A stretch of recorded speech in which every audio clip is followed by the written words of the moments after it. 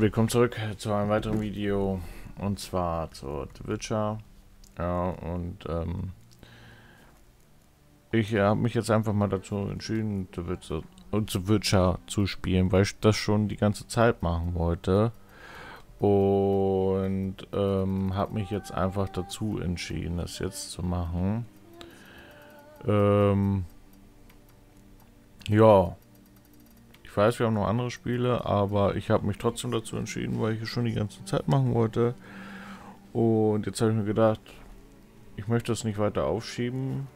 Ähm, ich hätte es auch für mich alleine spielen können, aber ich habe gedacht, ich nehme euch einfach mal mit. Und deswegen gehen wir rein in The Witcher. Ich kann euch nur empfehlen noch, ähm, hört oder lest euch die Bücher durch. Richtig gut. Und der erste und zweite Teil kommen dann eventuell irgendwann mal, aber da ist die Steuerung so grottig schlecht, dass es halt einfach eigentlich gar keinen Spaß macht, die zu spielen. Ähm, vom ersten Teil kommt ja ein Remaster, ein Remake, wie auch immer raus und das werden wir uns dann auf jeden Fall auch geben. Also kennen wir uns die Geschichte Tutorials an, ja. Spielstand aus dem zweiten Witcher simulieren, ja.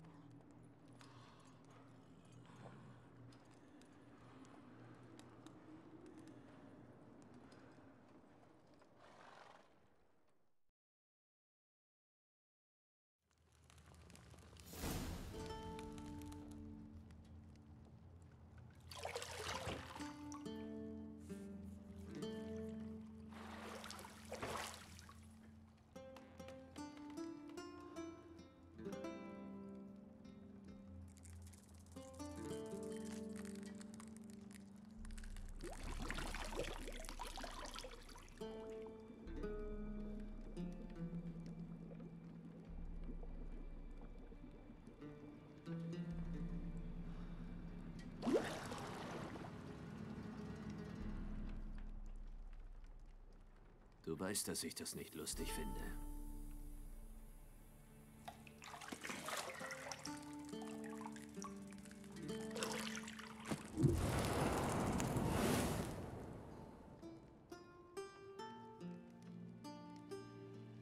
Du sollst dich nicht amüsieren, sondern beeilen. Es ist schon Mittag. Du hast Ciri versprochen, mit ihr zu üben. Geh, sonst langweilt Wesemir sie mit den Radierungen zu Tode.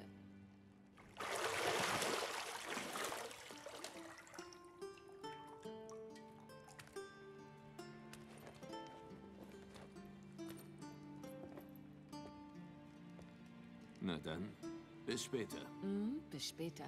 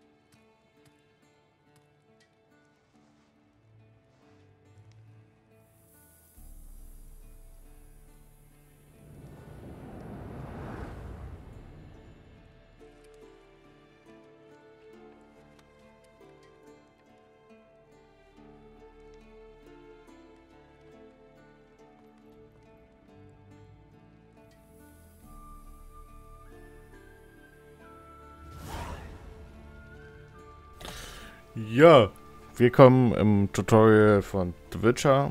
Ähm, ähm, das ist ja so das Tutorial. Ja, Minimap und so kennen wir alles.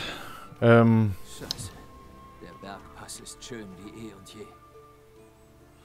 das stimmt allerdings. Äh, wir spielen ja mit Raytracing und alles auf Ultra und so. Ne?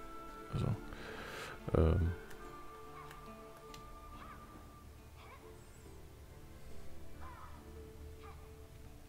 auffälligen Stellen. Ach so, generell einfach. Ja. Ach hier. Ja, gut, okay. Machen wir hier drinne. Du hast keinen Saft mehr. Ich weiß. Du könntest mir nach den Übungen noch welchen besorgen. Also der das Spiel, das spielt ähm, in den letzten Büchern. Ähm, da wo quasi alles schon ähm, ne. Kurz davor ist.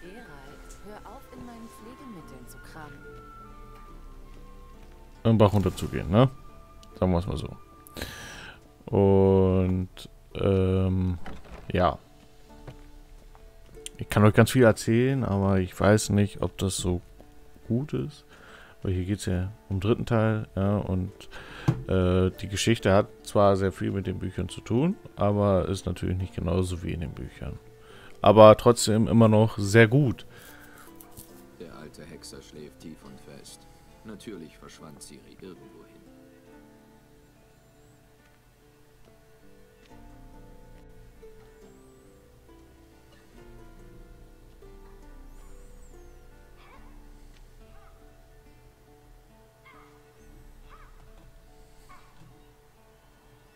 Sie zieht die Praxis wohl der Theorie vor. Was? Zeit aufzustehen, Meister. Sind die Lektionen so langweilig, dass selbst du einschläfst? Verdammt, sie sollte Notizen zu Gule und Algule machen. Ich wollte die Augen etwas ausruhen. Diesen Schinken sollte sie durchackern? Kein Wunder, dass sie verduftet ist. Jan von Brugge ist reizlos, aber verlässlich. Nicht so wie dieser Quatsch, der heutzutage gedruckt wird. Sie trainiert mit den Pendeln, nicht? Wie oft muss ich ihr das noch sagen? Nicht alleine üben. Das bestärkt nur die Fehler. Bring unser Fräulein in den unteren Burghof. Sie will üben? Das kann sie haben. Ich muss zugeben, dass wir sie verwöhnt haben. Wir haben sie verwöhnt? Ich hab's schon immer gesagt. Ciri braucht eine harte Hand. Das hast du gesagt. Aber du hast dich genauso rumkommandieren lassen wie alle anderen. Gut, es ist wohl teilweise meine Schuld. Aber damit muss Schluss sein. Sofort. Man darf das Monster töten nicht auf die leichte Schulter nehmen. Ciri muss das begreifen, wenn sie eine von uns werden will. Wir sehen uns unten. Ja.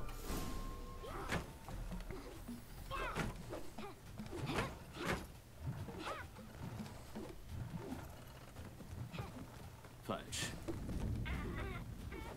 Ach, wolltest du unbedingt üben. Schlag zu.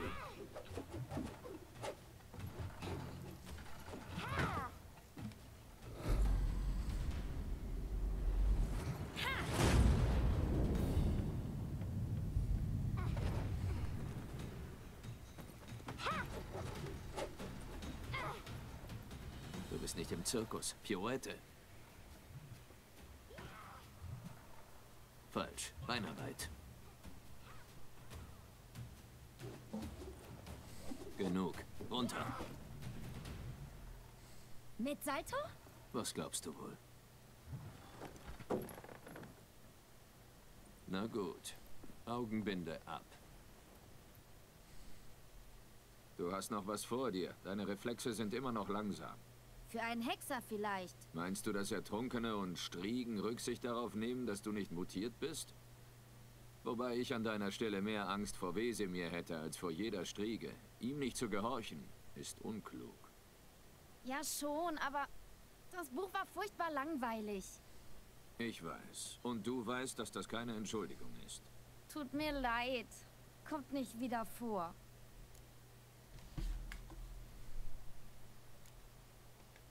Besser nicht. Wesemir hat gesagt, wenn doch, musst du eine Schüssel Nacktschnecken essen. Mit Salz. Ih, Genau. Also benimm dich lieber. Na los, wir üben unten mit den anderen. rennen wir über die Mauern? Na klar, ist das eine Hexerschule oder ein Elfenbadehaus? Unten. Wenn du fällst, vielleicht. Yay, ich war schneller da. Ey, erstmal in die Steuerung wiederkommen. Holy shit. Was habe ich dir übers Atmen gesagt? Durch den Mund im Rhythmus der Schritte. Ciri, lass den Quatsch. Hey, du hast gesagt, das dürfen wir nicht. Ich habe gesagt, du darfst das nicht.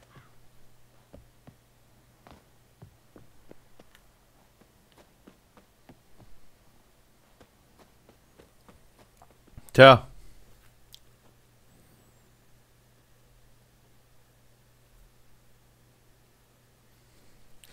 Rasiert.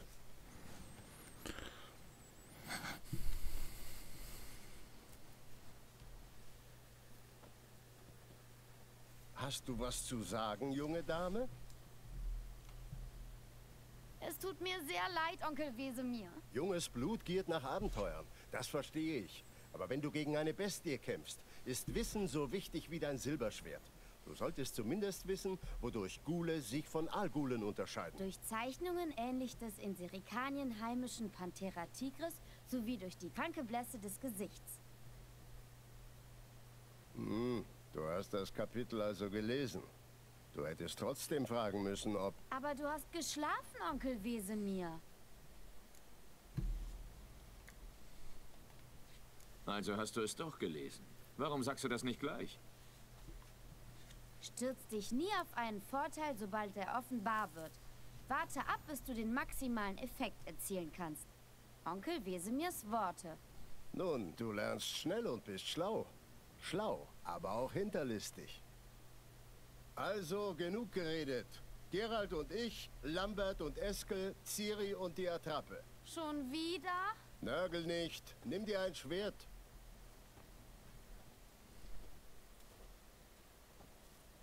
Was meinst du? Sollen wir erst die Grundlagen durchgehen oder gleich mit dem Freistiltraining anfangen? Einmal die Grundlagen.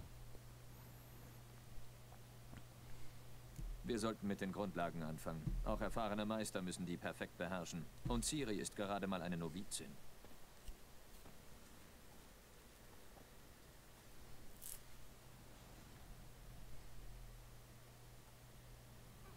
das Schwert, Geralt. Okay.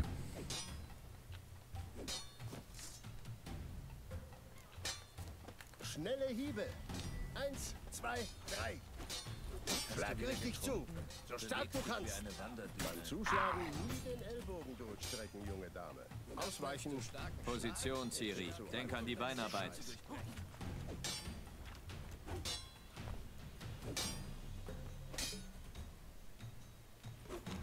Okay.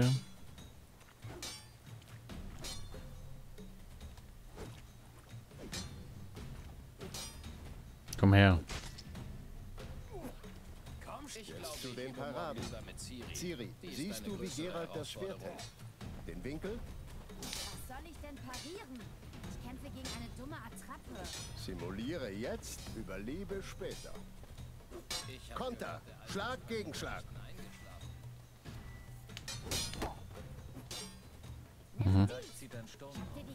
Aufgeschlitzt. Mist.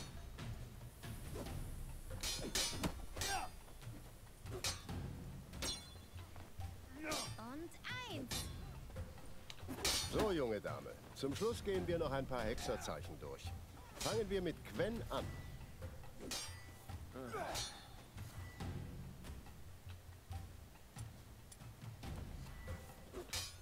Ciri, Quen wird manchmal der Hexerschild genannt. Schau gut zu, dann siehst du gleich warum.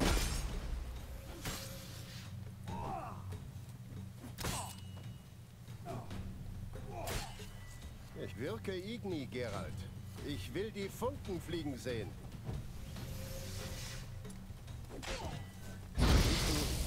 Ohne das Quenzeichen stünde ich jetzt in Flammen. Art, Geralt. Na los! Siehst du das, Ciri?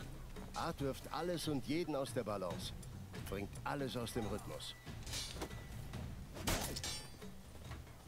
Zeit für Axi. Verflucht, ich hasse dieses Gefühl. Hallo.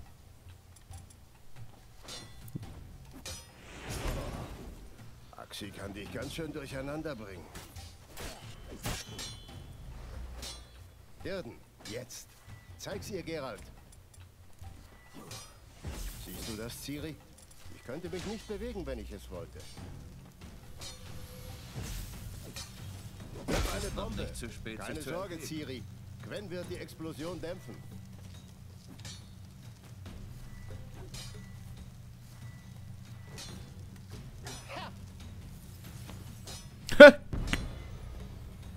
Okay. Hingeworfen habe.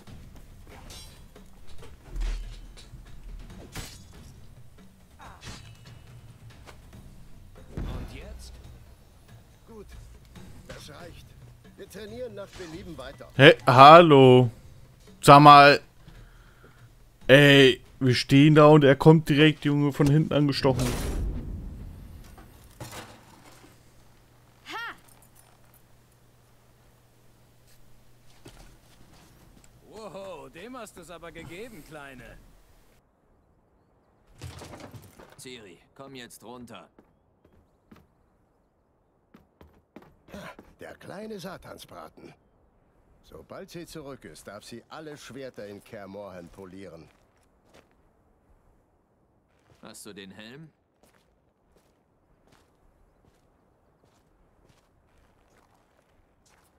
Ciri?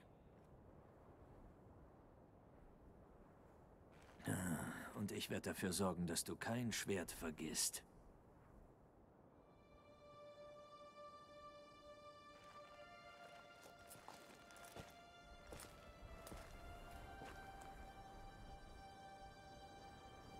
Was du...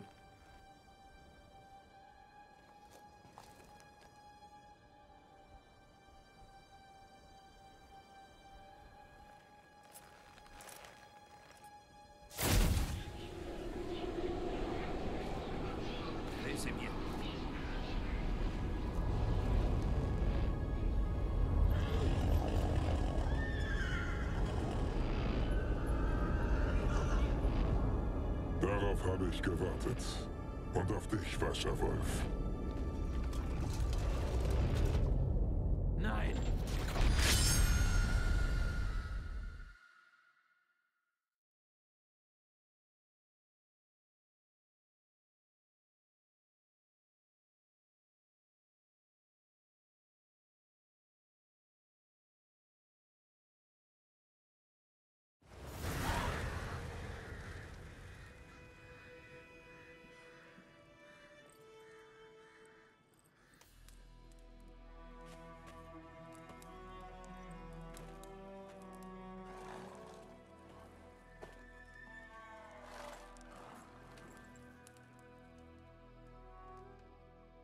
Alles klar? Mhm. Ein Albtraum. Was für einer? Die weiße Jagd. Entschuldigung. Bis zur Dämmerung ist es noch hin. Wir haben Zeit. Er begann im Gästezimmer in Kermorhen. Ich entspannte mich in der Wanne und neben mir war... Triss? Jennifer. Seltsam nicht. Sie war nie da. Mein Traum wirkte aber ganz echt. Ah, Hat sie wegen irgendwas herumgenörgelt? Mhm. Mhm. Mhm. Wirklich lebensecht. Wir finden sie schon. Im Traum ging ich los und suchte Ciri. Wir übten. Das waren noch Zeiten. Hm. Kleine Teufelin. Ich habe Kinder ausgebildet, die schneller und stärker waren. Aber keins hatte ihren Charakter. Er ist nicht gut ausgegangen, oder? Dein Traum. Nein. Die wilde Jagd tauchte auf und griff Ja, Ciri. die wilde Jagd, Entschuldigung. Ich konnte mich nicht rühren. Stand da wie angewurzelt. Es war nur ein Traum.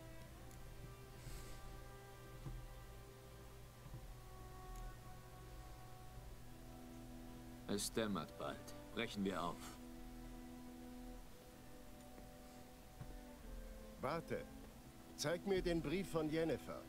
Vielleicht habe ich da einen Hinweis übersehen. Du hast nichts übersehen. Wir sollten uns in Weidendorf treffen. Das hat sie geschrieben. Inzwischen hat die eine oder andere Armee das Dorf niedergebrannt. Uns bleibt nur ihrer Spur zu folgen. Also, Hör kurz auf zu reden und gib mir den Brief. Was sagt man dazu? Er riecht wirklich nach Flieder und Stachelbeeren. du wolltest ihn lesen, nicht beschnüffeln. Wir müssen uns sehen. Bald. Weidendorf bei Wysima.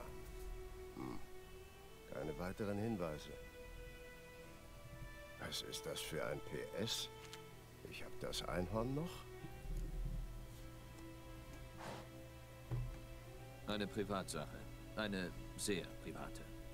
Aha, verstehe. Glaube ich jedenfalls. Vielleicht nicht ganz. Und das wird wohl das Beste sein. Zurück zum Thema. Wie viel Vorsprung mag Jennifer haben? Zwei, drei Tage.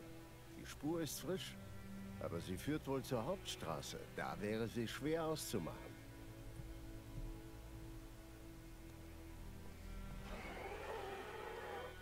Warte, hörst du das? Ich höre und rieche es.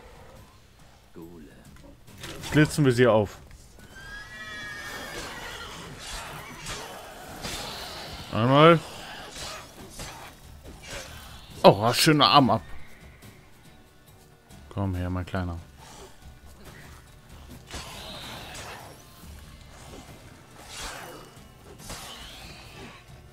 Schön, Hackfleisch, Hack mit Zacker machen wir hier. Schön. Na klar. Wenn Armeen durchziehen, folgen ihnen Nekrophagen. Gehen Ja. wir, bevor noch mehr auftauchen.